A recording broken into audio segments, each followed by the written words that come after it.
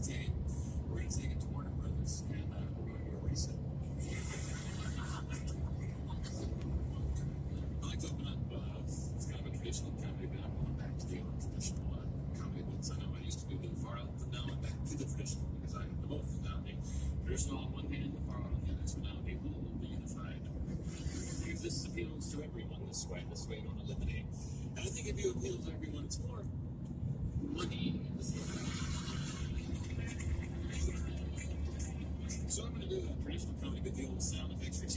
where I a little story and sort of make it come to life for.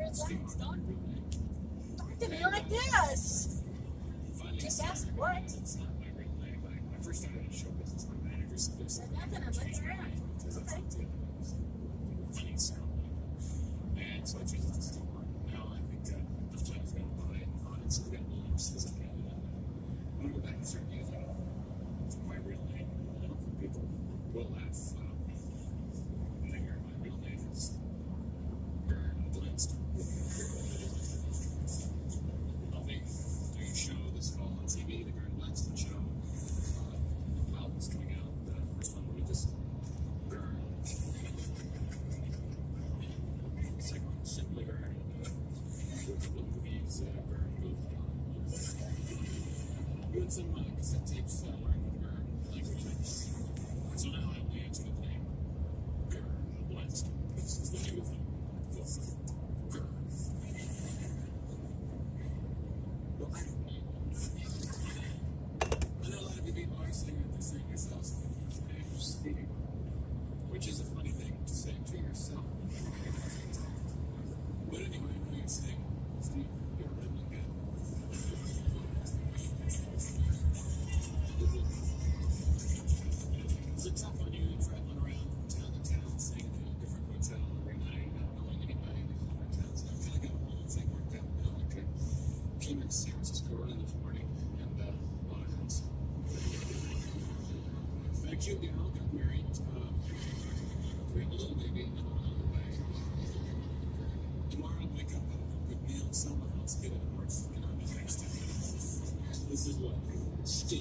Steve is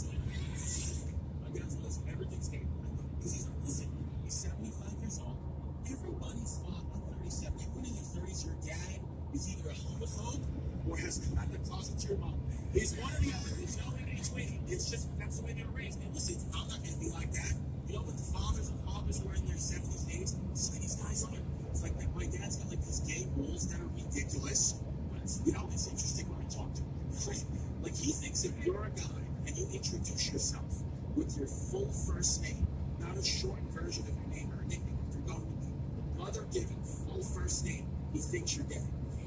He thinks only a gay man would do that. He thinks there's no way a straight man would ever go with a shortened version of, whatever the straight man would ever go with their full first. He thinks, you know, straight man would shorten their name or pick a nickname, but only gay men go with the full first name. It's a wild rule.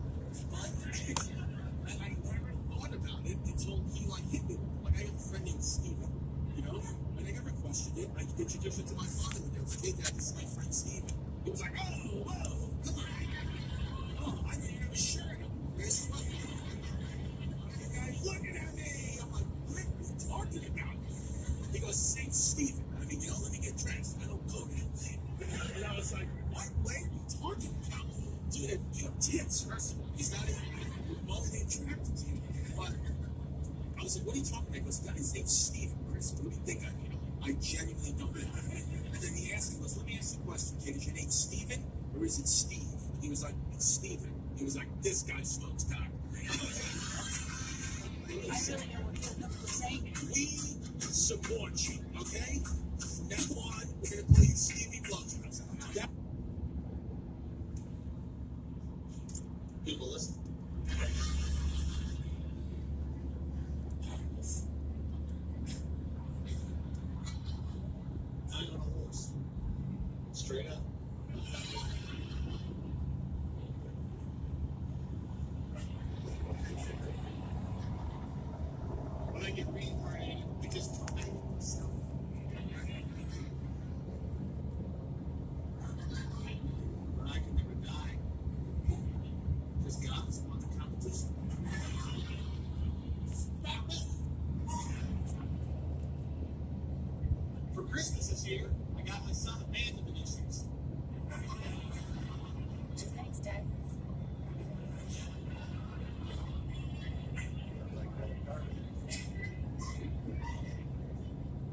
lemonade stand. I built a bigger and better one next to him, ran him out of business, made it into a parking lot. That's what I did.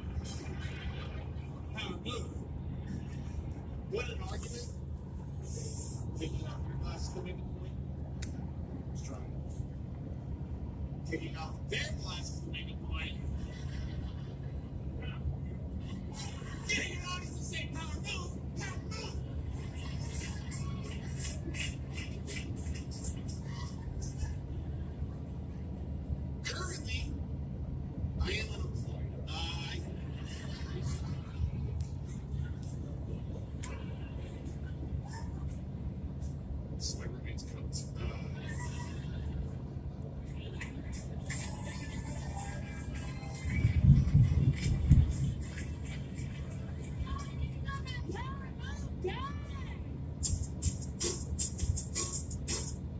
I don't want to be too preachy, right? But I do want to give you guys a little bit of something here. I feel like just crazy stuff comes at you when you're relating on the streets. And I'm not there professionally, but I am there sometimes. I'd say the strangest thing that comes at me is when uh, is when a strange man on the street calls me baby girl. Right? So she cringes. right? Like if you're another tiny woman, I say donuts, right? Or my actual dad. In which case, where you been, dude? We're tiny. I do have what I think is a pretty good stock response now for when this happens. Um, man comes me and says, "Hey, what's up, baby girl?" And I come back and I'm like, "Oh, baby, and then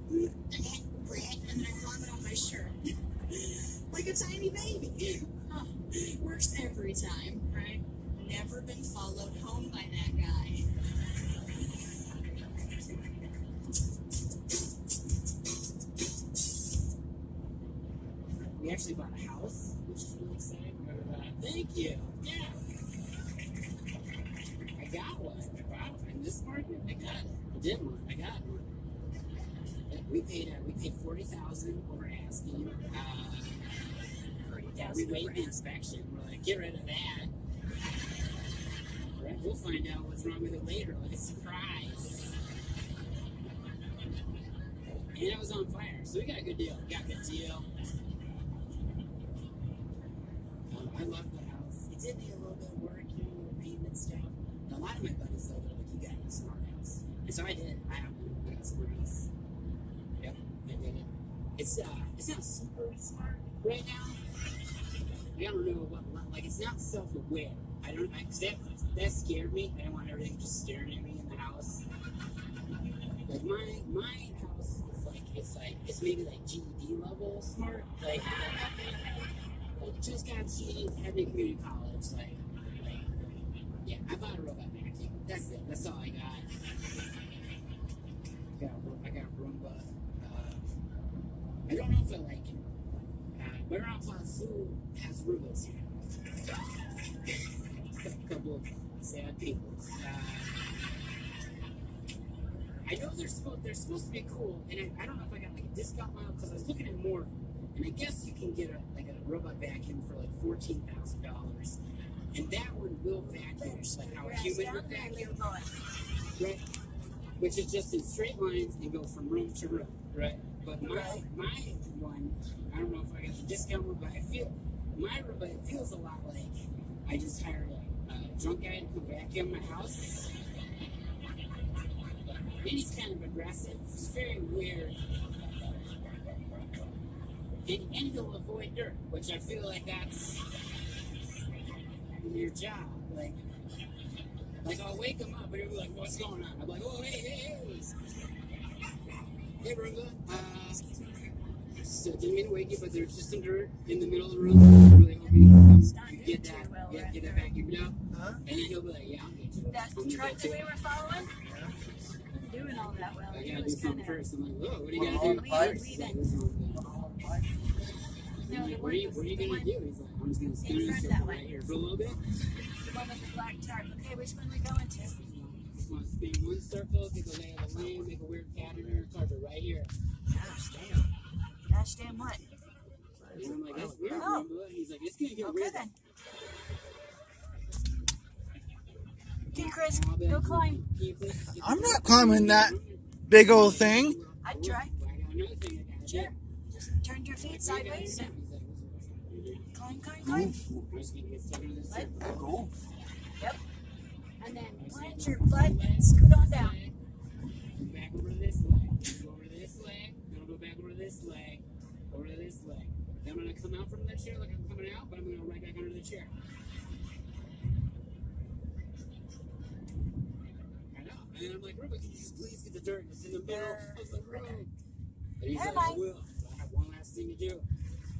I'm like, what are you gonna do, Roomba? He's like, your dog had an accident over here. I'm just gonna push it around for a little bit. Heck yeah. A little bit. Like, no. Poop smeared everywhere. And the other thing we did buy, we bought an Alexa. And I'm supposed to be able to shut the lights on and off with that.